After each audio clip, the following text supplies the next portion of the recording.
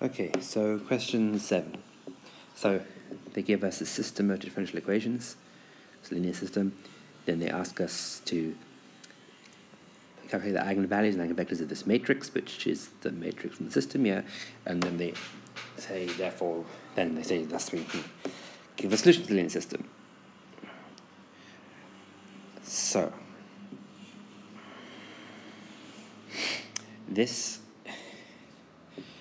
how do we do this? So this is the whole diagonalizing thing, but they've only given us two marks of actually solving the system, so I think they just want us to go straight to the way the solution is written as uh, the eigenvectors. So we'll see what I mean. So first of all, find the eigenvalues and eigenvectors of this matrix, which is what? It's 5 minus 1 minus 3, 3. Okay. So 7.1. So we need to look at the 5 minus lambda, minus 1, and then minus 3, 3 minus lambda. Okay. So we need to solve this for lambda, calculate this determinant, and then equals 0 to solve lambda. So we could start off with doing let's do row 2 uh, minus row 1. That's going to give us a minus 6. It's going to give us minus 6 plus lambda. And also minus 6. No. Let's do row 2. Let's do row 2. Try row 2 plus row 1. That's going to give us 4 minus lambda and also just lambda minus lambda that's not gonna that's not gonna be nice. What about if we did added column? So maybe added column 1 to column 2 we would have the top we have we have 2 minus yes there we go we have 2 minus lambda and 2 minus lambda okay so column 2 should become column 2 plus column 1 and then that means the determinant then because that doesn't change the determinant it will be 5 minus lambda minus 1, 5 minus lambda 1, and then you add this here, you get 2 minus lambda here, and you get 2 minus lambda here also. Okay, so you can factorize out the 2 minus lambda from that second column, and you have 5 minus lambda minus 1, 1, 1. Then you can, what can you do now? Uh, you could add add to column 1 column 2 now, because then you will get the 2 minus lambda stays, but you will get this uh, entry down here to 0. 6 minus lambda, 0, and then this is the same. Now it's upper triangular, uh, so the, the determinant is just the, you multiply the diagonals by each other, so that you get 2 minus lambda, 6 minus lambda. So the eigenvalues are 2 and 6. Okay. Oh, we need eigenvectors. Right. Okay, so for, for lambda 1 equals 2, let me just put that in later. So for lambda 1 equals 2, we are looking at um, something in 2 into the eigenvector equation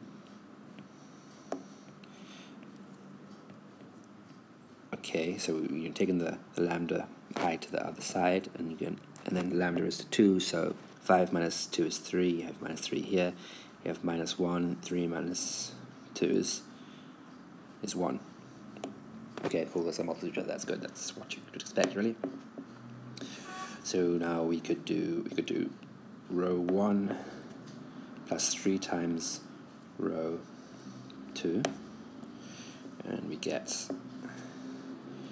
0, 0, minus 1, 1, v1 equals 0, and that means that the eigenvector is, well, multiples of 1, 1, right? So they cancel. Okay, cool.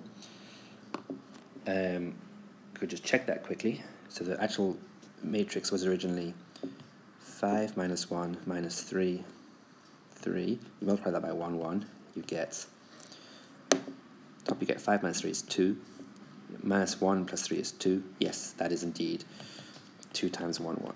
Okay, so that's correct eigenvector eigenvalue. So the other eigen value was 6. So now that corresponds, now we go, we have 5 minus 6 is minus 1, and then there's minus 3 here, and then minus 1, and 3 minus 6 is minus 3. Okay. Again, the rows, rows are multiple to each other, as we would ex expect. So to solve this, you can go, for example, row 2 minus row 1. That gives you minus 1, minus 3. At the same time, we just do minus times row 1 by negative number. So you get times my row 1 by negative 1, so you get minus 1, 1 3, and here you get 0, 0, and that's v2 equals 0. And so that means that v2 could be, so they have the opposite sign, and then the first one to be 3 times the second one. Yeah, okay, let's check that. So the matrix was 5 minus 1 minus 3, 3. 5 minus 1 minus 3, 3. You multiply that by 3 minus 1. You get, you get 15 plus 3 is 18. Minus 3 minus 3 is minus 6. And that is indeed 6 times 3, 1. So that eigenvector and eigenvalue are also correct. Okay, so the next thing is to do what? Uh, that's that's that's 7.1 done. We found the eigenvectors and the eigenvalues. Now they want us to solve the differential equation, right? Use it to write down the solution of the differential equation. So now you could go through this whole diagonalizing process. Um, and when you do that, what you get is you get like, hmm,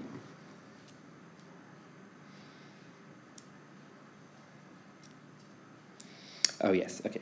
So the eigenvalues appear in terms of you have like e to the lambda 1t, then you multiply that by its eigenvector, and then you have e to the lambda 2t, and you multiply that by its eigenvector.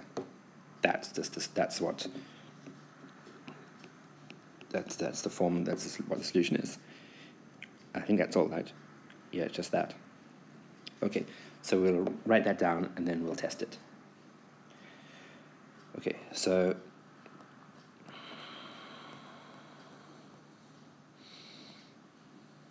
oh, we should write it down in the right form though. I mean, they haven't given us, they haven't given actually given us in vector form, so let's not write down in vector form.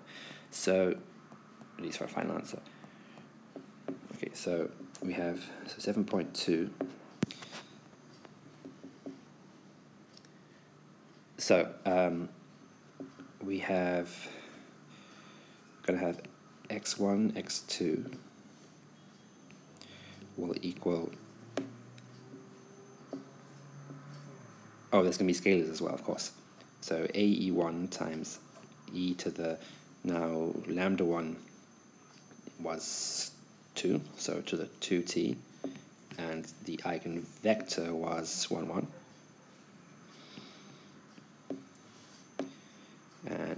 And then a 2 e to the 6t, the eigenvector was 3 minus 1. Okay, that's that's the solution. Let's check it. So, you do, if we calculate,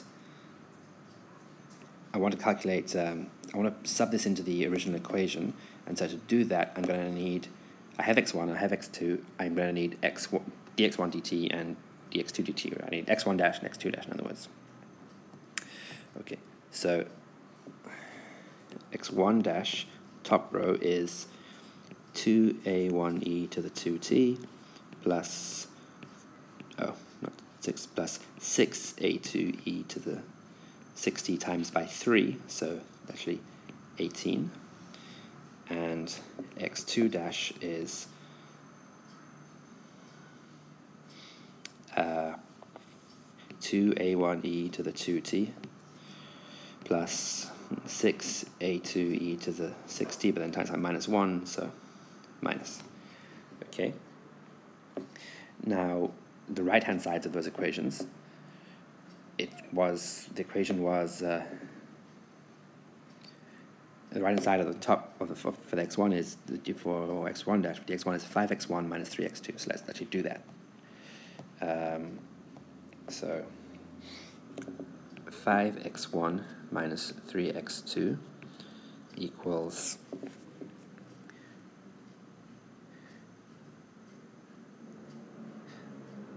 uh, so x1 at the top line, so we need times by 5. So we have 5a1 e to the 2t plus, now we have 3 times 5, which is 15 a2 e to the 6t.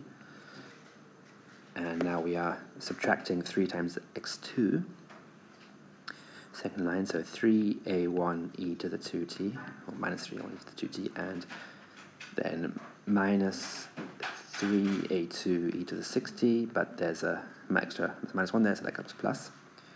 And so that all comes out to um, 2a1 e to the 2t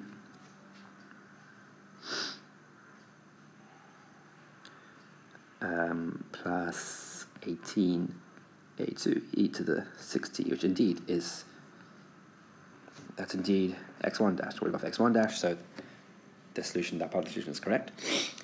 Now let's check for the, for x, that we have the right thing for, it works for the second row, for the x2 dash, which is, we have minus 1 and 3 are the coefficients, minus 1 and 3. So it says x1 dash equals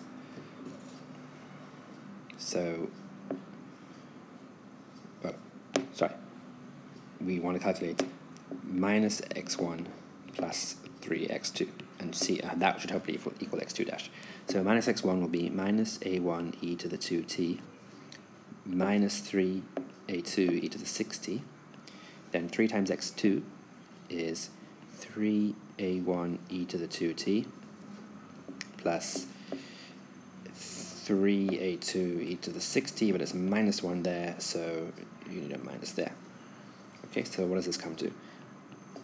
You end up with 2a1 e to the 2t and minus 6a2 e to the 60, which is indeed x2 dash. Yes, so it all worked out. So this is indeed the solution.